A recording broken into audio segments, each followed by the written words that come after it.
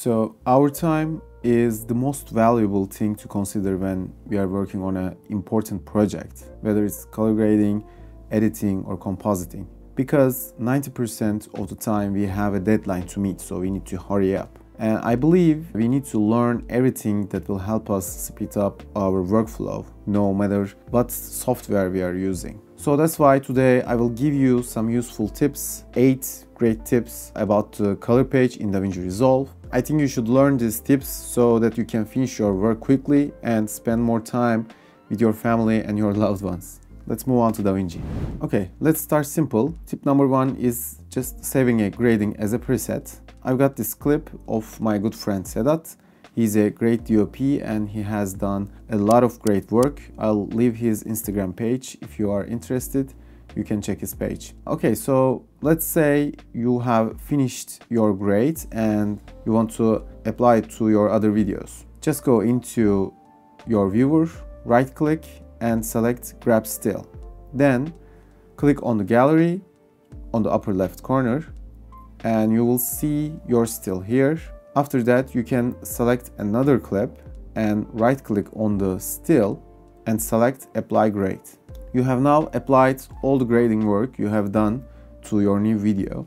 You'll have the exact node tree and you will be able to go in and make changes if you want. Now let's say you really like this grade and you want to save it for the future projects. There is this little icon that says still albums click on that. You will see your still albums on this menu. Click on Power Grade, same as before, grab a still and save it there. Now every time you open a new project, this grade will always be here. Our second tip is chromatic adaptation. This effect allows you to adjust the colors in a scene to compensate for differences in lighting temperature and it ensures that the final result looks more natural. Let's say this is your temperature node. Normally, you would go in temperature and tint settings to adjust your white balance. I'll increase it a little bit and let's grab a still to compare it. I will reset this node, then I will go into the effects library and drop chromatic adaptation to this node. You will see these settings on this menu. Change the illuminant types to color temperature. Source illuminant is the white balance settings on your camera target illuminant is the desired white balance. If you know, you can also put your color space information here, minus S-Gamut 3 Cine and S-Log 3. So now you can control your white balance much more effectively. This is the primary white balance and this is chromatic adaptation.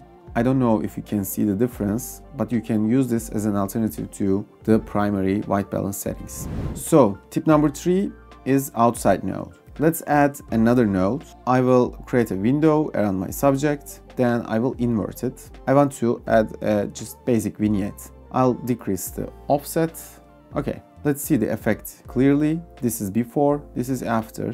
We have a basic vignette effect around the edges. But let's say you want to make changes inside this mask as well. So right click on this node, go into the add node menu and select the outside node. Now you will see that this node is also connected with the alpha channel. So if we go in and make adjustments in this node, you will see that it only affects the middle part of this mask. I am just exaggerating it so that you can understand what it is doing. In conclusion, this can be a useful tool from time to time. Tip number four is a shortcut and that is Shift F. I will use this footage as an example. Sometimes when you drop an effect on a node, you see that it has so many menus. For example, I've got this Dehancer plugin and there are so many adjustments that I can do here. In order to see what I'm doing a little bit better, I can press Shift F and I will be able to work with the effect much better. So I won't lose any detail. Press Shift F one more time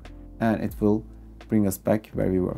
Okay, tip number five. Tip number five is versions. It's a great one. I use it a lot. So let's say you want to compare two different gradings. You can just come up to the gallery and apply a different look and compare them using a wipe tool. But there's a better way to do this. Go into the color menu on this toolbar. Under grade versions, you will see that you have four options. Previous, next, add and default. So I want to add a grade version. The shortcut is Ctrl Y, Command Y on the Mac. So I will press Ctrl Y and we will see a text on the corner that says a color grading version is added. I'll move on and change this grade. Let's change the film profile and I will adjust the tint. Now I will add this too. Let's press Ctrl Y again that's also added.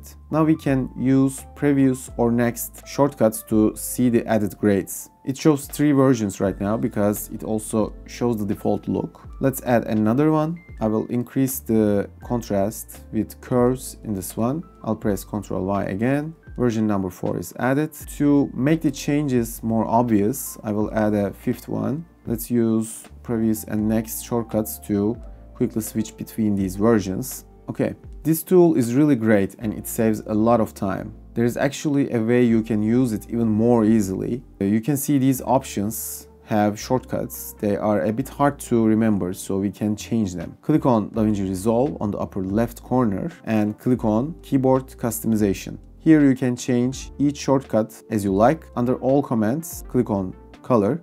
You have all the color page settings on this panel. Let's search for versions. Click here now you can change it to any keystroke on your keyboard. I will change add and default to 3 and 4 and the others to 1 and 2. I will click on save. Now I will just press 3 to add a version and use 1 and 2 to switch between these looks. Keyboard customization is a topic in itself, so definitely check it out. Tip number 6 is using HSV color space for our saturation. Let's take a look at this shot as an example. First, I will reset the saturation node. So there are several ways to saturate our image. You can use the basic primaries saturation option or you can go into HDR wheels and increase the global saturation. If you simply want to increase the saturation of your image, this will be enough. But if you want to get more saturated and vibrant colors, I recommend using HSV. So I will go into my saturation node, right click and go into color space, then select HSV. Then right click again, go into channels and disable channel 1 and channel 3.